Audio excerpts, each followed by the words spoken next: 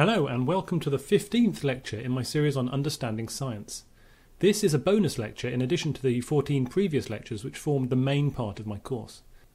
In this particular lecture, I'm going to talk a bit more about random noise and how randomness can sometimes be incredibly misleading. I'm going to expand on the work I covered in lecture 13, and I'm also going to add a lot more information and an accompanying spreadsheet which you can use to follow along if you have access to Microsoft Excel. You don't need to download the spreadsheet as I'll be showing screenshots in the presentation, but it might be useful for you to play with the ideas I'm going to introduce so that you get a better understanding of what's going on. For those who want to take a look, the link is shown in the notes to this video and is also shown at the relevant point in the video itself. So let's get started. What do we actually mean by randomness? In science and in mathematics, we talk of random variables, which are generally things that we can measure that vary in an unpredictable way. Lots of things in life are essentially random, from a fair coin toss to rolling a six sided die to spinning a roulette wheel. Of course, in each of those cases, it should be possible to work out what the result will be ahead of time if you have sufficiently accurate measurements of the physical processes involved. A robot, for example, should be able to throw a coin so that it always ends up heads. But humans generally can't predict anything so complex, so the results are essentially random to us. Here are some examples of common random processes that we see in science and everyday life. Radioactive decay is perhaps the most well known. The chance of an atom decaying radioactively can be calculated extremely accurately, but all we ever have is that probability. We never know exactly which atom will decay and when it will decay, because the laws of physics underlying radioactive decay are inherently probabilistic. That's to say that, unlike classical situations we mentioned earlier, like flipping a coin, even if you have all the information that's available, you take every single possible measurement you can, it's impossible to tell when it will decay. This is truly a random process. Astronomical events are often random in a different way. There are so many stars in each galaxy and so many galaxies in the universe that even extremely rare events like supernovae, massive stars exploding, and gamma ray bursts happen quite often across the universe. But we don't know exactly when or where they will occur except perhaps for stars very close to us where we can estimate the star's mass and work out roughly how long it has left to live. As galaxies are spread roughly evenly across the sky, distributions of supernovae should be expected to be randomly distributed across the sky too. In fact, this is one way astronomers were able to tell that gamma ray bursts, which are enormous explosions that we know very little about, they were able to tell that they weren't events in our own galaxy, because once they pinpointed enough of them, it became obvious that they were spread across the entire sky and not just concentrated in places where our galaxy's stars are densest. Genetic mutations are also largely a random process, though it's known that some parts of the genome are more susceptible to mutations than others, and we know some effects, such as high energy radiation, that do enhance mutation rates. Similarly, meteorology contains much randomness. Though we can predict general trends in climate over longer timescales, the weather patterns on our planet are inherently chaotic and therefore almost impossible to predict accurately over any lengthy timescale. So, given that so many physical processes are inherently random, understanding how randomness works is the key to avoiding some really common mistakes. Not just simple things like measurement errors, but also understanding when an unusual result is actually significant and when it can just be written off as noise. At this point, if you're interested in following along, please download the accompanying spreadsheet at the URL listed below. You might want to pause this video while you get it loaded up. It's not vital to have this spreadsheet though, so if you just want to watch the video, that's perfectly okay. So let's do a recap on statistical significance. For more detail, see lecture 13 in my series on understanding science, where I go into this topic in much more detail. For now, let's just remind ourselves of the key points that you'll need to know. Firstly, and perhaps most importantly, randomness often looks non random to humans. We're pattern finding creatures. We spot patterns and regularities because that's given us an evolutionary advantage over time. Those creatures that can spot patterns in weather or hunting patterns of their natural predators can do much better than those who can't. But sometimes we see patterns that aren't really there because it's always better to be safe than sorry. As the old story goes, it's better to run away from a rustle in the bushes only to find out it was just the wind than it is to ignore the rustle and get eaten by a hiding tiger. Secondly, unlikely events do occur. This seems like a really obvious thing to say, but people do win the lottery. People fall out of aircraft without a parachute and survive. You can't count on it, of course, but it does occasionally happen. Thirdly, and this is where it gets a bit technical, but I'll spare you the details, we can understand randomness using statistical models. The most common one that you may have heard about is the Gaussian model, which is used to model pretty much everything from subatomic processes right up to things you'll notice in the world around you, like distributions of height. The mean is a measure of the average value in a dataset, such as the average height, and the standard deviation is a measure of how much people tend to vary from this average. If the distribution of heights has, say, a mean of 170 centimetres and a standard deviation of 10 centimetres, then the average person is 170 centimetres, that doesn't, of course, mean that everyone is that height, but it means the average is approximately that. The standard deviation of 10 centimetres means that roughly two thirds of people are within 160 to 180 centimetres, or one standard deviation, and roughly 95% are within two standard deviations, or between 150 and 190 centimetres. Finally, one last idea. The term statistically significant really means statistically unlikely, this is a slightly nuanced topic, but essentially, when you're looking at a result and someone says it's statistically significant, what they're really saying is that the chance of that result coming about by chance alone is very small. The exact value of very small can be tuned depending on how much confidence you want to have in the claim.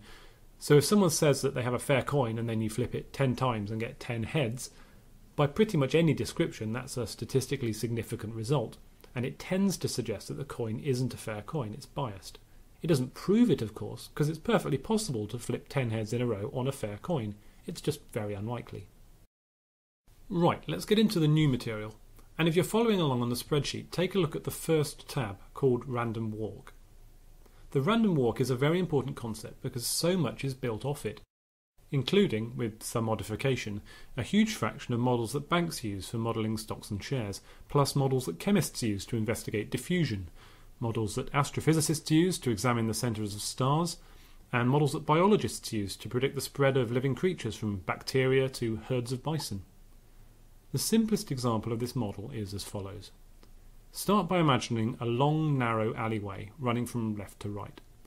Somewhere in the middle of this alleyway is a pub door, which opens and out steps a very drunk man.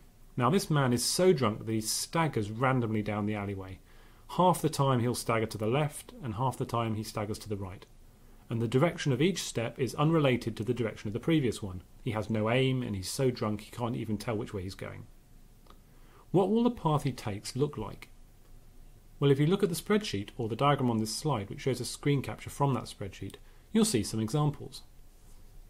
If you have the spreadsheet, your graph will look different to mine, and you can regenerate a totally new graph by hitting F9, which causes the calculation to refresh. That's the F9 key. The graph is built using a random walk model which generates new random numbers each time you refresh the page. So in this model we start at 0 and 50% of the time a step moves up, totally at random, and 50% of the time also totally at random it moves us back down. Over time we do move gradually further away from 0 on average, but if you keep hitting F9 then you'll notice that the graphs are just as likely to end up above the horizontal axis as they are to end up below it. This is because the operations we perform, that's plus 1 or minus 1, are exactly equally likely to happen. So there's no bias to moving up or down. This, of course, means that either is just as likely to happen. But what happens when we do add a bias? Well, let's look at that next. So if you flip to the second sheet in your Excel workbook, or take a look at the diagram below, you'll notice something a bit different. Imagine our original picture of a drunk man staggering down an alleyway now imagine that there was a slight breeze flowing down the alleyway in one direction. So in this model I've added a slight bias to the direction the drunk man walks. He's either slightly more likely to move right than left or the opposite. You should be able to see the bias value in cell D2 in the spreadsheet. This can go between 0 and 1, and it represents the probability in the graph of moving upwards instead of downwards. So if you set that at exactly 0.5, then up and down are exactly as likely as each other. With a value of 0, it will always move down, and 1 will always move up, and then any value between those limits will be some combination. The first thing to note is that even with a bias, sometimes the graph will go against the bias.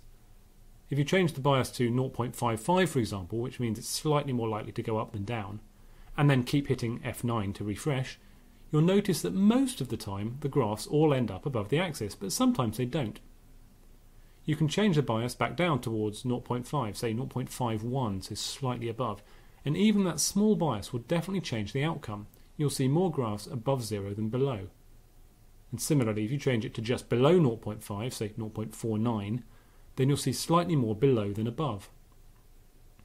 Let's move on so we can talk about what this actually means and how we might use such a model in the real world. So far, we've just talked about random walks in a fairly abstract way, looking at graphs and discussing random processes. But where can we actually see examples of this theory in nature? Well, the best examples are all very well known. Brownian motion is an excellent example. You may have seen it yourself, and in fact, it's a phenomenon that was first explained by none other than Albert Einstein in a famous paper in 1905, which was the same year he also came up with special relativity and explained something called the photoelectric effect. Brownian motion happens when you have a scattering of extremely tiny particles, for example pollen grains, on the surface of a dish of water. If you look very carefully, you'll notice that the particles dance around, seemingly at random, despite the fact that no wind is blowing them. The reason for this, as Einstein proved, is that the water molecules are bashing into them, and they're doing this at completely random angles. Occasionally, a few more will bash into a certain grain from the left and the right, which will cause the grain to move in one direction, the next moment it might be from another direction. Either way, the movement of these pollen grains is essentially random. Every time they move, it's in a random direction, which should, at least in a simple setup, be entirely unbiased.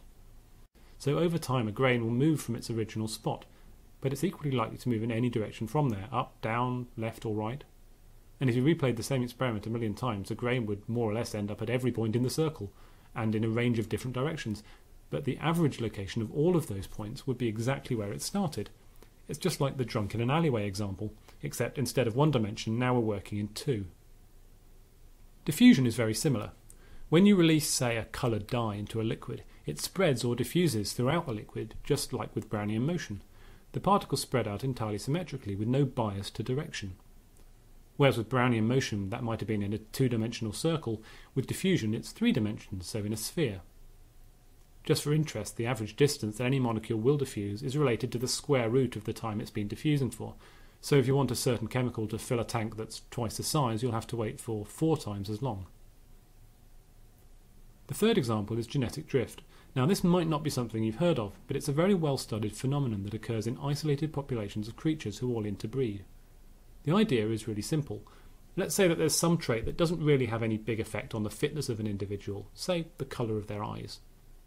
Genetic drift tells us that the proportions of the different variations of that trait will naturally change over time as certain colours become more popular and take over large swathes of the population, but then later a different one becomes more prominent.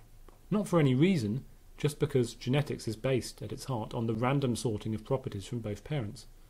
If you watch the changes over time of those traits, it will meander through all the possibilities in a seemingly random manner.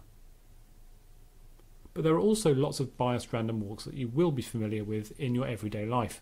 Gambling, of course, is a good one. Have you ever played those fruit machines in a casino? You put some money in, pull the lever, and see what pictures pop up on the machine in front of you. Sometimes you get a bit of money back, sometimes you get a lot of money back, but most of the time you get nothing, and your balance slowly dwindles away to zero. That's a random process, or at least it should be if the machine isn't cheating. But notice that it's bound to be configured so that there's a slight bias in it, you expect to win slightly less than you put in, so your balance always goes to zero in the long term. But occasionally you do get a big win, you double your money by fluke, and it seems like the odds aren't stacked against you at that point in time. So your money keeps going up and down and up and down, but over time the trend is definitely always downwards. There's a reason why casinos are always covered in gold and marble. Finally, the most obvious example of them all is evolution itself. Now, the underlying engine of evolution is largely the effect of random genetic mutations. But that's an engine that could just as easily power change backwards as forwards, so towards lower fitness rather than increasing fitness. So we also sort of need a steering wheel for that. And natural selection is the steering wheel that evolution uses to ramp up organisms to greater complexity and fitness. Natural selection looks at the randomness it's given and preferentially picks out the fittest to survive. It's the bias that takes the randomness of genetic mutations and uses it to drive evolution in the direction of increasing fitness. The idea of Brownian motion is also used in a more technical sense to model a lot of very common random processes. One of the most widely known examples is the use in finance to model stock prices. As any investor knows, stock prices can go down as well as up, and in a perfectly efficient market it should be impossible to tell which is going to happen, because any tiny shred of predictability will have been picked on by the experts and used up. When we model stock prices, we often use a Brownian motion model based on two components drift and volatility. Volatility is the entirely symmetric randomness that we've been discussing, the 50% up, 50% down component. The volatility number simply controls the scale of those movements, so the higher the value, the more drastic those random movements will be. But they'll always be 50% up, 50% down. So with just this component, you would expect stock prices to keep their same average values over time. But of course that doesn't happen. We have inflation and economies grow, so over time the average stocks increase in value. If you ignore the occasional wobble, the markets always move upwards. And that's where the bias comes in. This is a constant value by which the stock price shifts upwards continuously over time. So if you turn to the third sheet in the accompanying workbook, you'll see an example of this.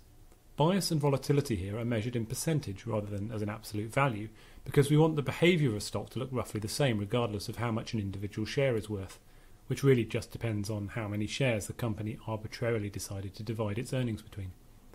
But everything else is identical to the examples before, so try playing around with the values. The extremes are worth exploring. If volatility is zero, then you get an exponential growth with zero randomness.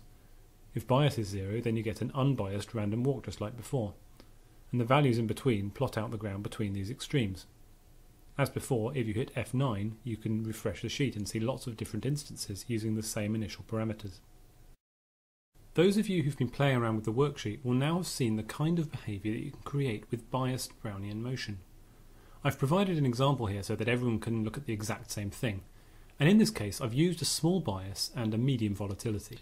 So you can see that the graph trends upwards, as denoted by the green line here, but that there are distinct periods where the graph does trend downwards locally, as denoted by the red arrow. This is really important to understand because you know that this graph was created with a positive bias. That is, if you wait long enough, you know that this graph will go further and further upwards. In that period where the graph trended downwards, absolutely nothing changed about the parameters to the graph. Exactly the same processes were generating the numbers at that point as at all other points.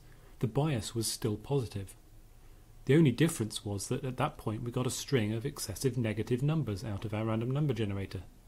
And shortly afterwards, this trend reversed and the graph resumed its upwards climb. That idea is really important to understand.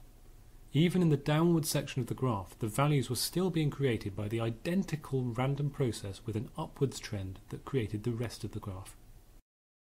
So I'm sure by now you can see where I'm going with all of this. Randomness, as I've said before, can be extremely misleading.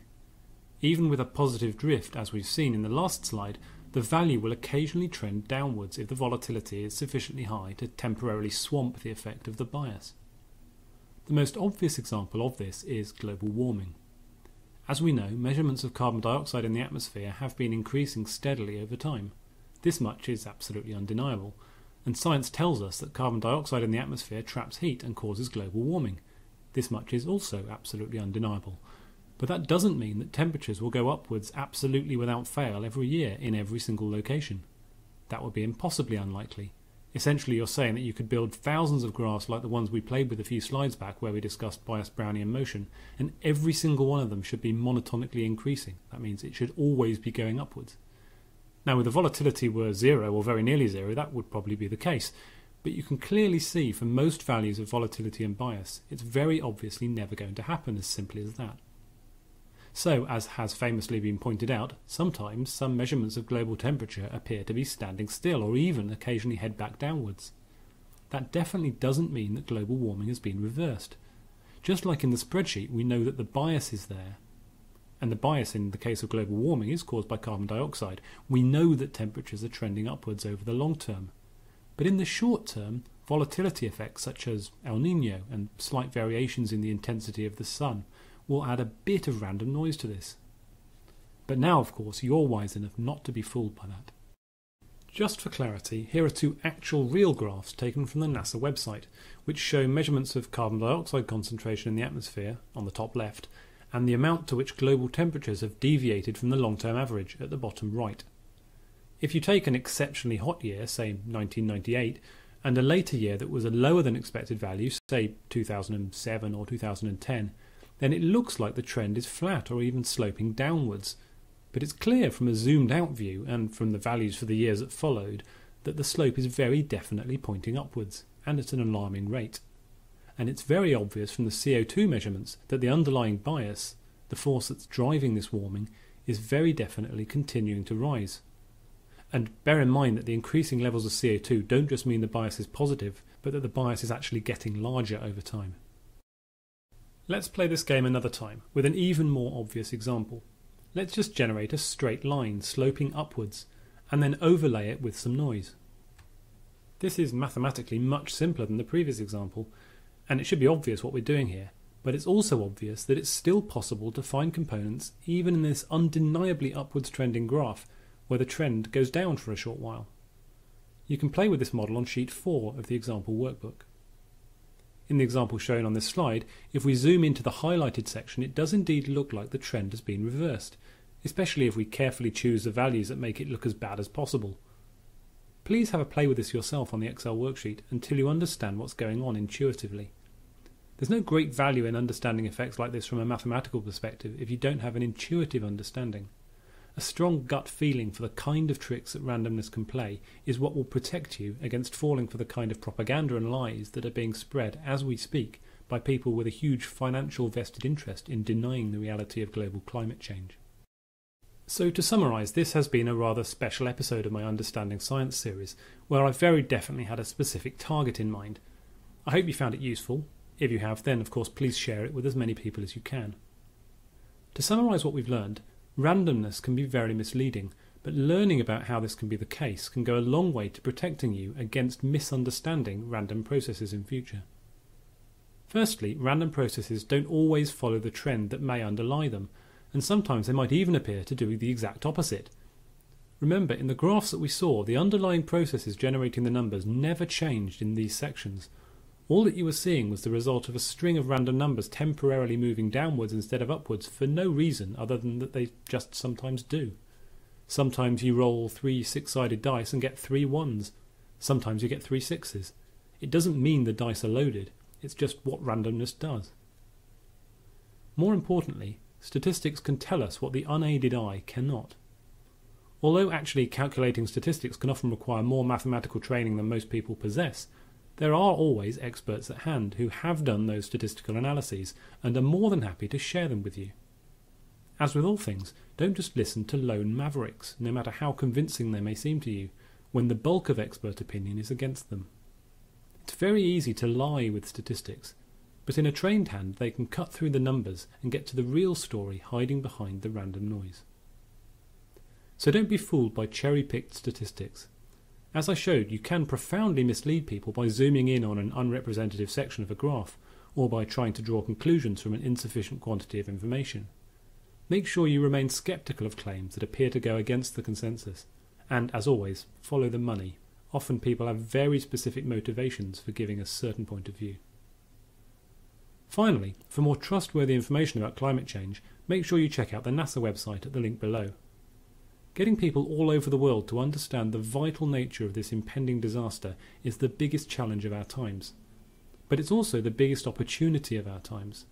To invent an entirely clean and renewable power infrastructure, to build up entirely new industries, produce millions of jobs, and to come together as a human species to combat a problem that is affecting all of us.